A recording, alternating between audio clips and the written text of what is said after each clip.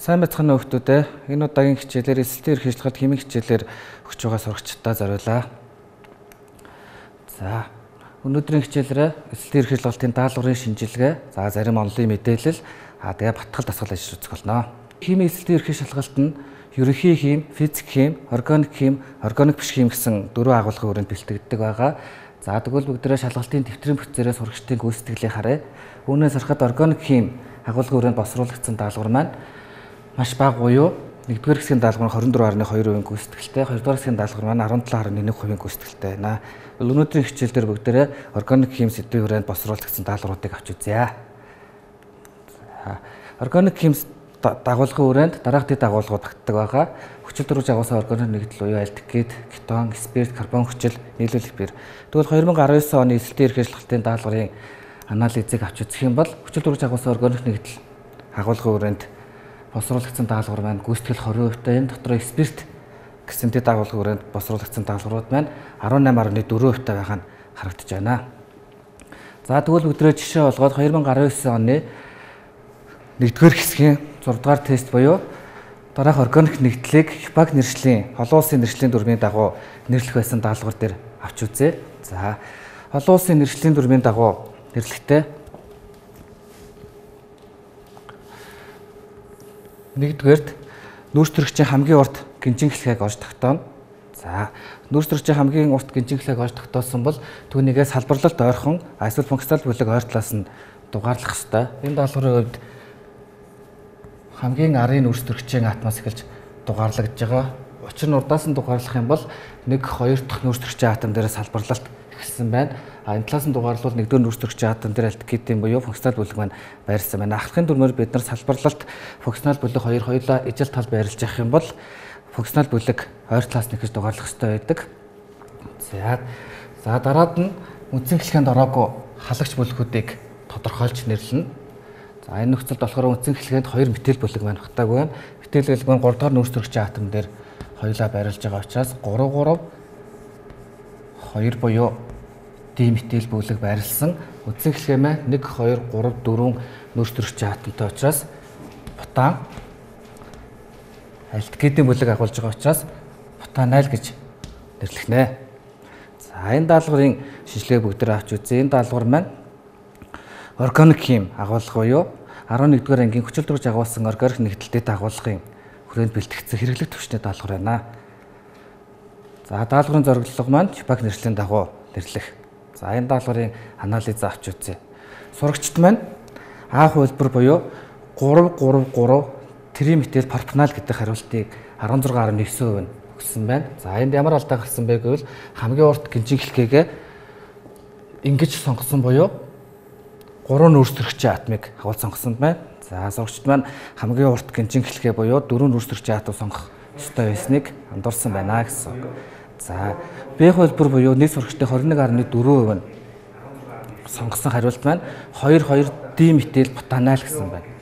За энэ нөхцөлд яасан бэ гэхээр харагдах байдлаар нь эхний нөөц төрөгчийн атмаас эхлээд 1 2 3 4 гэж дугаарлсан алдаа гаргасан байна. Тэгэхээр функционал бүлэг ойр талаас нь дугаарлах үе ахлахын дүрмийг баримталж чадаагүй байна гэсэн үг таарах юм байна.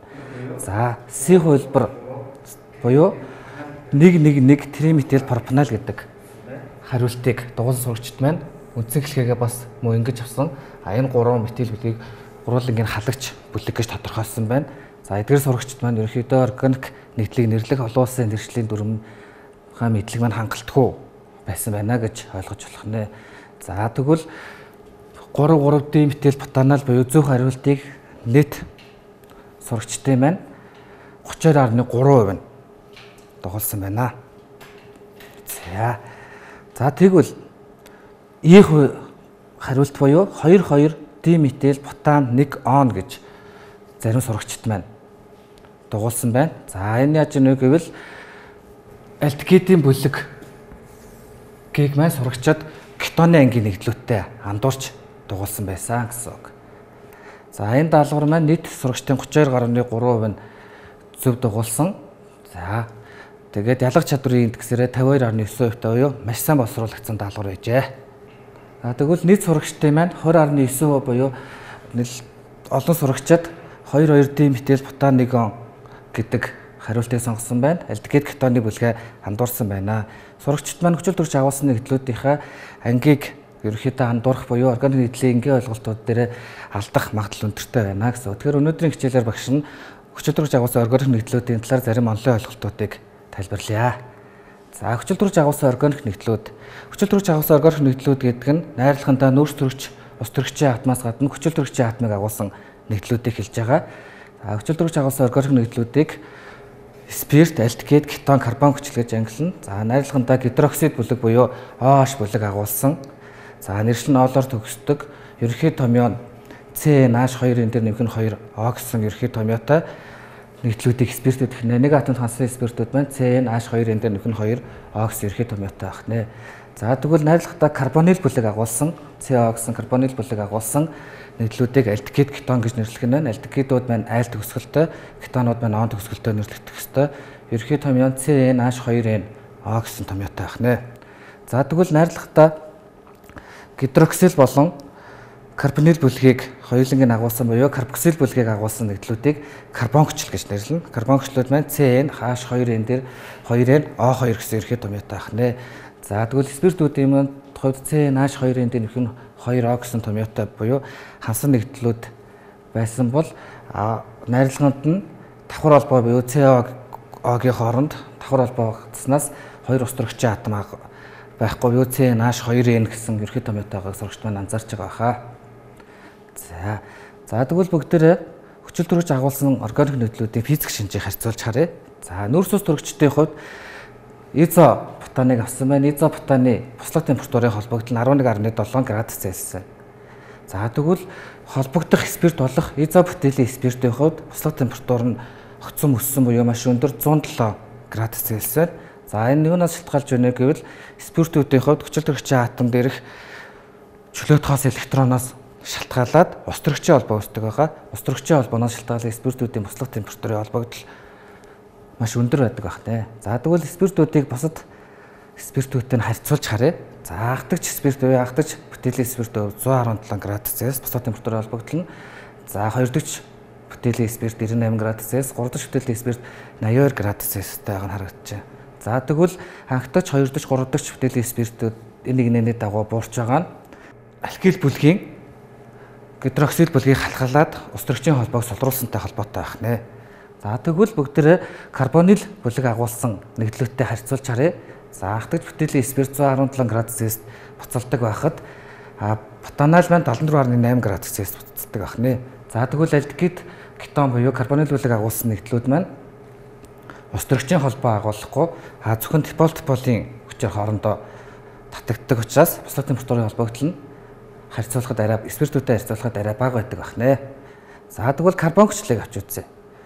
Тэнд бутаны хүчлийн хувьд буслах температурын холбогдол нь 163.8 градус Цельсиус байна. Карбон хүчлийн буслах температурын холбогдол маань нэлээд өндөр харагдаж байна тийм үү?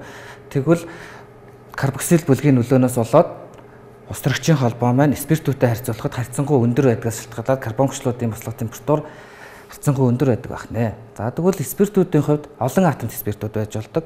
За молекулд 2 буюу түүнээс дэш гидроксид бүлэг агуулсан спиртүүд байх нь байна. За тэгвэл энэ бутандиолын хувьд буслах температурын холбогдол нь 210 градус Цельсиус буюу нэлээд өндөр харагдаж байна. За энэ нь болохоор 2 гидроксид бүлэг маань ус төрөгчийн холбоонд илүү хүчтэй байх учраас буслах температурын холбогдол нь нэлээд өндөр байдаг байх нэ. За тэгвэл хүчил төрөж агуулсан органик нэгдлүүдийн физик шин чанарын хувьд буслах температурын холбогдол нь ус төрөгчийн холбооны хүчээс хамаардаг байх нь а спиртууд ус төрөгчийн холбоотой байх нь а карбон хүчлүүд ус төрөгчийн холбооны хүч нь нэлээд өндөр байдаг байхад карбонил бүлэгтэй альдгид кетоны хувьд ус төрөгчийн холбоо агуулдаг учраас буслах температурын холбогдол харьцангуй бага байдаг байх нэ гэсэн. За тэгвэл одоо бүгдээрээ хүчил төрөж агуулсан органик нэгдлүүдийн зарим хийн шинжид харьцуулан авч үзье. За карбон хүчлүүд нь усан усмалда хүчлэг шинж үзүүлдэг. Карбоксил бүлгийн ус төрөгч маань хүчлэг шинжийг үзүүлэх нь байна. За карбончлууд маань металл болон металлын гидроксидуудтай уралд орж органик давсуудыг үүсгдэг. За тэгвэл спиртүүд маань бас усан усмалдаа хүчлэг шинжийг үзүүлж болно. За металлтай уралд ордог. А спиртүүдийн хувьд карбон хүчлэлтэй харьцуулахад хүчлэг шинж харьцангуй бага учраас зөвхөн шүлтийн металлуудтай уралд ордог бол карбон хүчлүүд нь металл болон металлын гидроксидуудтай уралд орж чаддаг байх нэ. За энэ пропил пропаны хүчлийн хувьд хүчлэгийн тогтвол нь 487 байхад пропилийн спиртийн хот ПК нь 16 таа байна. За карбон хүчлийн хот хүчлэг шинж байна. карбоксил бүлэг агуулж байгаа нөөцлөгчийн хөрш нөөцлөгчийн атом дээр галогенууд ирснээр хүчлэг шинжийг хэсгэж өгдөг байгаа. За жишээ нь этаны хүчлийн хувьд хүчлэгийн тогтмол буюу ПК 4.8 таа байсан бол тэрийн холоор этаны хүчлийн хот ПК нь 0.64 таа болоод огцон өсдөг байх нэ. За ийм даалгавар хэрдэг учраас та бүхэн маань анхаарч хараарай. За тэгвэл олон атомт спиртүүдийн тухай харсан олон атомт спиртүүдийг хэрхэн таних вэ гэж байгаа. Олон атомт спиртүүдийг цэцэн гидроксидын шүлтийн усмалаар таньж болдог. Цэцэн гидроксидын шүлтийн усмалд олон атомт спиртүүд маань гүн хөх өнгийг үүсгдэг байгаа. За тэгвэл спирт, альдгид, карбон хөшлүүд маань эсэлтэлтийн нөлөөгөөр болон ангижрах хурлын нөлөөгөөр нэг нэгнэр угаа шилжиж өгдөг байгаа. За анхдагч спиртийн хувьд эсэлтснэр альдгид болно. А альдгид цааш эсэлдэж карбон хүчлийг үүсгэж чаддаг байгаа. За эсэлтүүлэгч бодисоор бид нар органик биш давсууд буюу Д хормат, хормат, манганатын ионуудыг, гипермагнатын ионуудыг ашигладаг байгаа. За кетоны хувьд гэвэл хоёр дахь спиртийн эсэлтэлтээр үүсдэг байгаа. А кетон цааш эсэлтдэг бай. За карбонил бүлэг агуулсан нэгдлүүд маань давхар холбоо агуулж байгаа учраас нэгдэх уралд орж олон давхар холбоо маань тасарч за нуклеофилын оролцоотойгоор нэгдэх уралд ордог. За тэгвэл жишээн дээр бид нар альдгидийн цианы хүчлийн нөлөөгөөр нэгдэж байгаа урвалыг харж байна. За энэ урвал маань EN буюу нуклеофил нэгдэх урвал ах нэ. За карбонил бүлэг агуулсан нэгдлийн хувьд энэ нүүрс төрөгчийн атом маань хүчил төрөгчийн атом руу татагдсанаар эрэг сэлтгэн буюу эрэг цэнийг үзүүлдэг байгаа. Тийшээ нуклеофил таталснаар нэгдэх урвалд орох боломжийг үүсгдэг байх нэ. Тэгвэл спиртийн ангийн томоохон төлөөлөгч болох фенолын хувьд авч үзье. Фенол маань бромын усанд цагаан тунц үүсэх чанарын урвал үүсгдэг байгаа. За энүүгээр нь бид нар фенолыг таньж болдог байх нэ.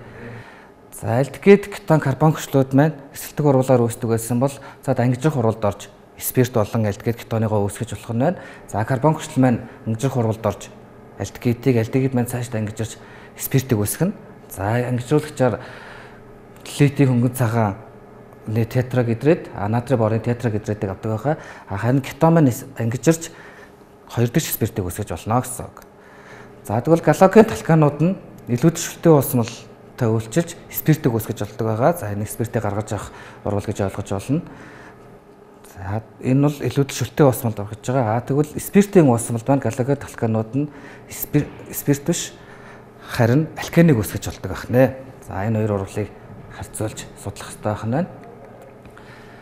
За тэгвэл спирт үүсгэх урвал маань нуклеофил халдц хурал байдаг бол харин алкин үүсэх хурал маань элементч хурлын төрөлд хамаардаг байна. За тэгвэл карбонил бүлэг агуулсан нэгдлүүд үе альдгид кетоны 2 4 динитрофенил гидразины оруулжаар таньж болдог байгаа. Энэ шараас олбор шар өнгөтэй болох урлаар бид нар таньж болно гэсэн. За тэгвэл альдгидийг нь тусад нь тойлосын урулж буюу мөнгөний оксидын амик усаар таньж болно. За энэ нь болохоор шилэн дээр мөнгө дангаараа ялгард буюу мөнгөн төлний урвал гэдгээр нь та бүхэд мэдж байгаа. За тэгвэл альдгидийг өгөөр таньж болох нь байна. Альдгид кетоныг нь 2 4 динитрофенил гидразины усамлаар таньж болох нэ. Альдгидийг мөн адилхан эсэлдэх урвалаар карбон хүчил үүсгэхээр нь тулгуурлан филингийн урвалжаар таньж болох нэ. Цэсийн оксидын шүлтийн усамлыг ашиглан. За энэ нь болохоор цэнхэр өнгөтэй цэсийн гидроксидын усал маань улаан өнгөтэй цэсийн нэг валенттай оксидын шилжсээр нь таньж болдог байна.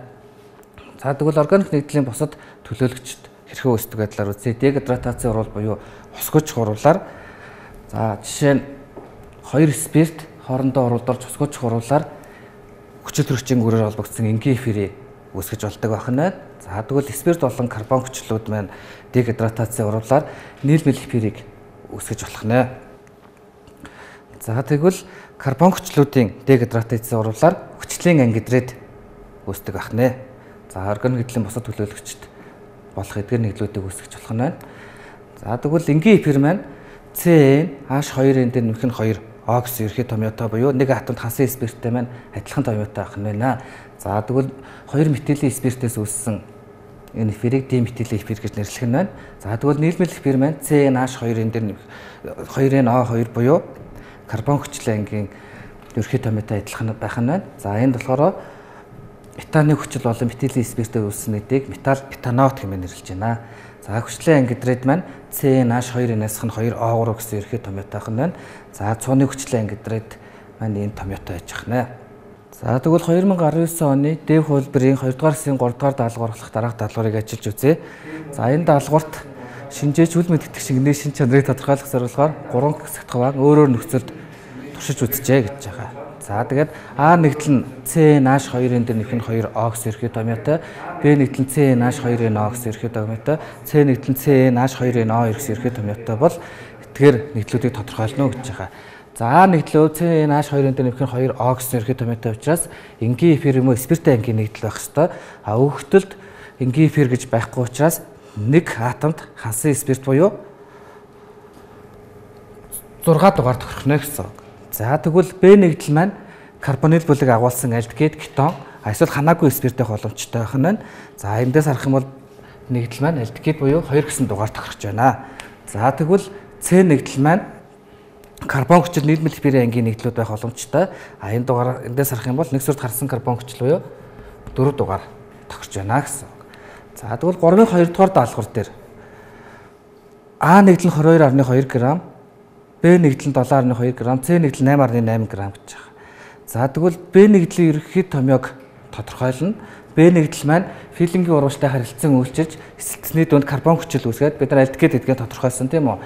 Карбон хүчил үүсгээд за 114.4 г цэсийн нэг валентай оксидыг ялгаруулсан гэдгээс 0.1 мол гэж тодорхойлогдож байгаа. За 0.1 мол цэсийн нэг валентай оксидыг ялгаруулахад 0.1 мол альдгид маань уралд орж байгаа учраас дараах тооцоолыг хийгээд Э1 4 хэмээн тодорхойлж байна. За тэгвэл D маань 4, E маань 8 болж тархна гэсэн үг. Нүрс төрөгчийн атомын тоон 4, ус төрөгчийн атомын тоон 8 болж тарна гэсэн. За тэгвэл 3-ын 3 дугаар даалгавар дээр А нэгдэл нь химийн хуралд ороогүй гэж чинь. За тэгвэл А нэгдэл маань үдсэн анхныхаа хэлбэрээр байж гэнэ гэсэн. За тэгвэл BC нэгдлийг буюу С нэгдлийн тохирох дугаарыг олгож чинь. С нэгдэл маань эсэлтэлтийн дүнд үүссэн карбон хүчил байгаа. За тэгэхээр дөрөв нүрс төрөгчийн атом агуулсан карбон хүчил учраас энэ маань бутаны хүчил байх нэ гэсэн. Бутаны хүчлийн дугаар 3 тохирно гэж тацаалах нь байна. 3 4-р даалгавар дээр анх авсан үл мэдтгэх шингэний масс GH-ийг олно гэсэн байна. Анх авсан үл мэдтгэх шингэн маань спиртэ ангийн нэгдэл байсан. За спирт маань эсэлдэж альдгид үүссэн. А С нэгдэл маань дахин эсэлдэж карбон хүчил үүсгэсэн тохиолдол байгаа. За тэгвэл спиртэ ангийн нэгдэл учраас А нэгдэл маань өөрийнхөө хэмжээгээр 22.2 г.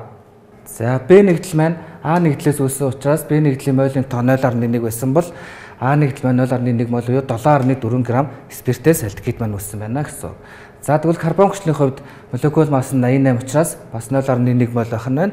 За 0.1 мол карбон хүчил маань 0.1 мол бутанолоос үүссэн буюу бас 7.4 г бутанол үүссэн байх нэ гэсэн. Тэгвэл анх авсан бутанолын хэмжээ маань химийн хувиралд ороогүй 22.2 г дээр 7.4 г альдгид болон хувирсан 7.4 г карбон гч болсон болон хувирсан 7.4 г-ыг нэмбэл нийт 37 г байжээ гэсэн. Тэгвэл G маань 3, H маань 7 гэсэн утгыг авах нэ.